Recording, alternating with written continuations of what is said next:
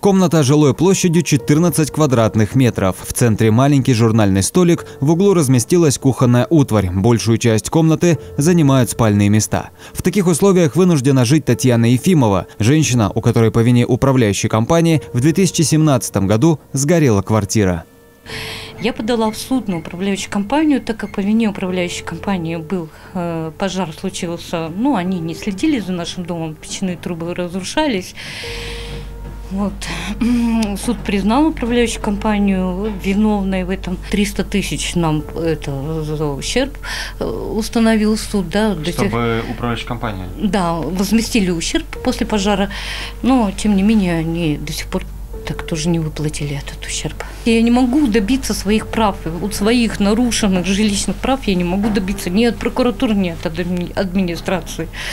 Речь идет о старом доме по улице Краснодонской, где каждый второй барак уже давно должен по закону уйти под снос. Но дому под номером один совсем не повезло. Несколько лет назад произошел пожар. После жаркой январской ночи 2017-го огонь повредил крышу и стены, а пожарные залили все водой. Женщина была вынуждена переехать во временное жилье, предложенное администрацией, маленькая комнатка в общежитии. Временный договор на проживание сроком в три месяца превратился в томительное заключение в четырех стенах. Обращение к сити-менеджеру Читы Александру Сапожникову только усугубило ситуацию. На просьбу переселить женщину в администрации приняли решение о продлении срока проживания в общежитии еще на пару лет. Вот у меня уже срок договора заканчивается, говорю, вы мне предоставьте, пожалуйста, квартиру вместо комнаты общежития. Я уже нажилась в этой комнате общежития. Мне нужна квартира. Я хочу воссоединиться со своими детьми. У меня дети там один, другой здесь. В общем, они снимают все жилье и ну, по углам мыкаются. Да, я, я же осталась без семьи. Но, тем не менее, что он решил, ответ дали. Мы вам продлим дальше комнату в общежитии. Э, договор на два года. Вот сейчас на два года мне продлили. В прокуратуру и на судебные заседания Татьяна ходит как на работу. Только благодаря упорству пострадавшей удалось добиться того, чтобы барак признали аварийным, а ее саму поставили в очередь на получение положенных 70 квадратов жилья. Только за все это время очередь сдвинулась всего на несколько человек. На 10 человек за 4, за эти 5 лет. Я что, 700 лет буду ждать? Это своей очереди порядки. Я совсем не согласна с этим ответом. Вот они на наше э, заявление написали, что вот вы сидите и ждите по порядке. Вот вы признали вас э, э, нуждающимся в жилом, поставили на очередь, вот и ждите своей очереди. Конкретных сроков никто не называет. Чиновники в отписках отвечают, что программа рассчитана до 2025 года. Там жить невыносимо. Полы провалились крыши вода бежит, туда не зайти, печки все сломаны. И там опасно заходить, потому что может это, потолок рухнуть. Сколько Со... это уже длится по времени? С 11 года это все длится. То есть 10 лет? Ну, 10 лет. Они вот никак не могут дом этот снести. Те, кому идти совсем некуда, из последних сил пытаются создать для себя хотя бы минимальные условия для проживания. О тепле, сухости и комфорте эти люди позабыли уже очень давно. Главное – не замерзнуть в холодную зиму и не утонуть в дождливое лето. Несколько раз в году штукатурим, белим. Краска вообще не берет, потому что грибок, везде грибок. С первой маленькой штукатурка упала, потом огромные куски повалились. Рамы бесполезно вытаскивать. Там вода льется, стены пустые, ужасно. На кухне постоянно по углам у нас зимой снег.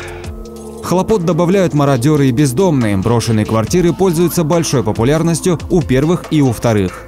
Замок вырванный, там, там уже ни печки, ничего нет. То есть мародеры уже какие-то Там уже, да, там уже бомжи пожили, видимо.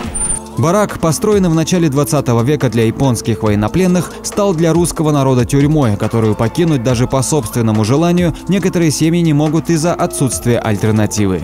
Вне очереди расселить какой-либо дом э, вперед тех домов, которые были признаны ранее, не представляется возможным, так как это будет противоречить действующему законодательству. Если люди попадают в трудную жизненную ситуацию, вот как вот в данном случае с Татьяной Анатольевной произошел пожар, эм, мы э, пытаемся помочь тем, чтобы предоставить людям временное жилье для решения вопроса по расселению данного либо восстановлению жилья, либо расселению жилья.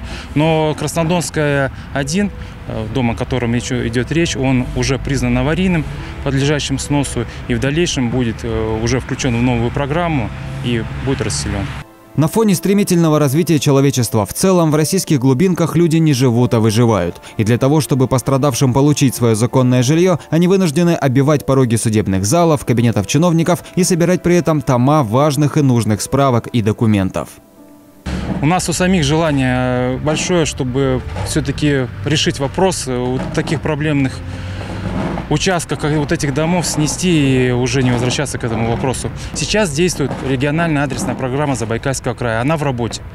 И есть моменты, когда граждане проживая в многоквартирных домах, признанных аварийными, не предоставляют нам правоустанавливающие документы. Это тоже является определенным затруднением для того, чтобы жители поучаствовали в, этом, в этой программе.